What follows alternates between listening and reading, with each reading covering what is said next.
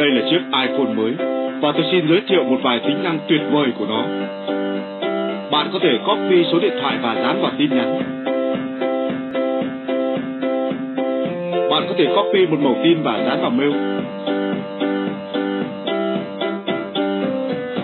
Bạn có thể copy cả một tấm bản đồ. Khi bạn có những ý tưởng, hãy copy và dán với chiếc iPhone GGS, chiếc iPhone mạnh mẽ nhất, được phân phối bởi Viettel.